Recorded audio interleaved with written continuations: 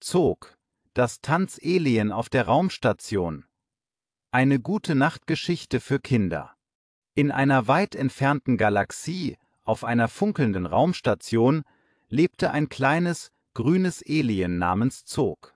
Zog war anders als alle anderen Aliens, die er kannte.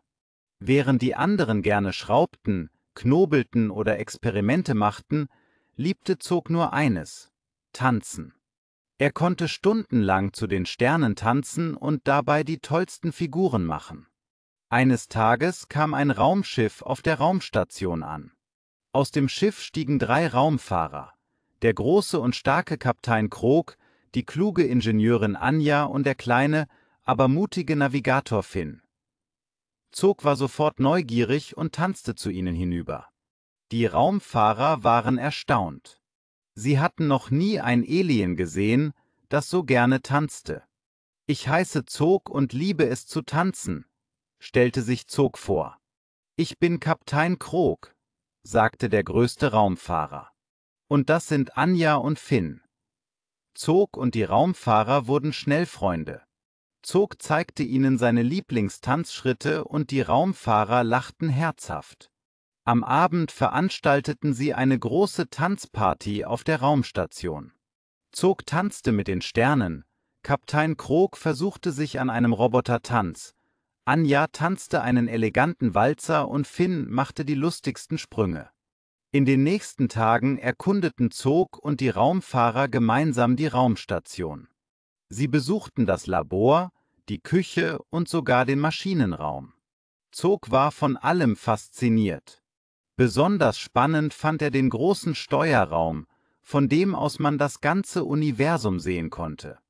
Eines Abends, als sie zusammen am Fenster standen und die Sterne beobachteten, sagte Kapitän Krog: Zog, du bist ein einzigartiges Alien. Es gibt bestimmt noch viele andere Wesen im Universum, die gerne tanzen. Zog strahlte. Vielleicht sollte ich eine große Tanzparty für alle Aliens im Universum veranstalten, schlug er vor. Die Raumfahrer fanden die Idee großartig und versprachen, Zog dabei zu helfen. Sie bauten eine riesige Tanzfläche auf der Raumstation und schickten Einladungen an alle bekannten Planeten. Als der Tag der großen Tanzparty kam, war die Raumstation voller Aliens. Es gab große und kleine, grüne und blaue, Aliens mit vielen Armen und solche mit nur einem Auge. Alle tanzten zusammen und hatten eine Menge Spaß. Zog war überglücklich. Er hatte nicht nur neue Freunde gefunden, sondern auch eine ganze Galaxie zum Tanzen gebracht.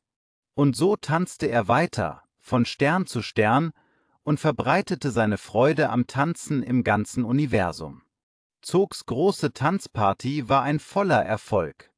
Aliens aus allen Ecken des Universums kamen, um mit ihm zu tanzen. Der Ruhm von Zog als dem besten Tänzer im Universum verbreitete sich wie ein Lauffeuer. Bald schon kamen Aliens von weit entfernten Galaxien, nur um Zog zu treffen und seine Tanzschritte zu lernen. Zog merkte schnell, dass er eine Gabe hatte. Er konnte jedem das Tanzen beibringen, egal wie unbeholfen sie am Anfang waren. So beschloss er, eine intergalaktische Tanzschule zu eröffnen. Die Raumstation wurde zu einem Ort, an dem Aliens aus allen Galaxien zusammenkamen, um die Kunst des Tanzens zu erlernen. Zog entwickelte eine ganz eigene Tanzsprache, eine Mischung aus Bewegungen und Klängen, die es jedem ermöglichte, die Schönheit des Tanzes zu verstehen. Er unterrichtete nicht nur die Grundlagen, sondern auch komplexe Choreografien, die er selbst entworfen hatte. Seine Schüler waren begeistert und verbreiteten Zogs Tanzstil immer weiter.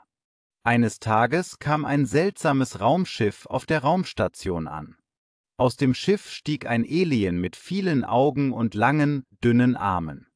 Das Alien stellte sich als Xylo vor und erzählte, dass sein Volk nur sehr einfache Bewegungen beherrschte.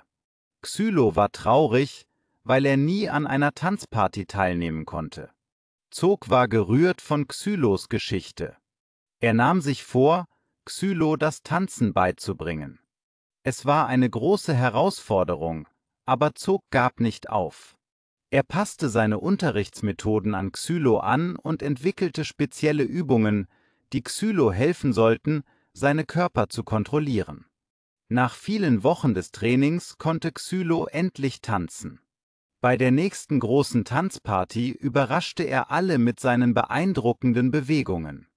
Xylo war so glücklich, dass er Zog umarmte und ihm versprach, seinen Tanzstil in seiner Heimat zu verbreiten. Zogs Tanzschule wurde immer berühmter. Bald schon gab es Tanzschulen auf vielen Planeten, die nach Zogs Methoden unterrichteten. Zog reiste von Planet zu Planet und besuchte seine ehemaligen Schüler.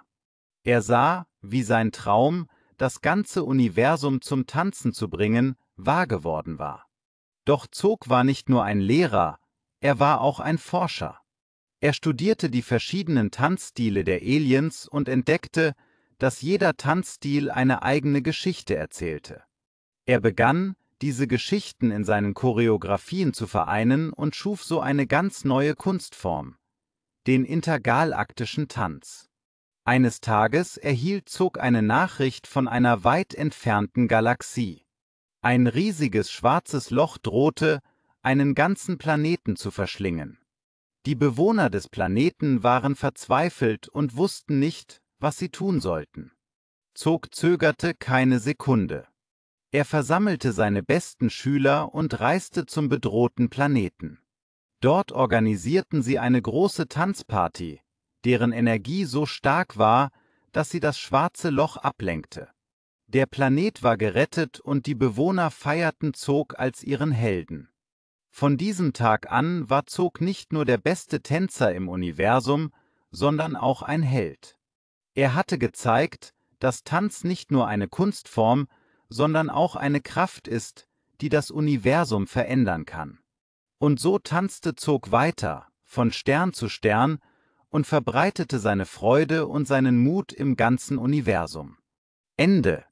Du findest diese Geschichte interessant, dann freuen wir uns über deinen Daumen hoch Klick oder ein Teilen des Videos.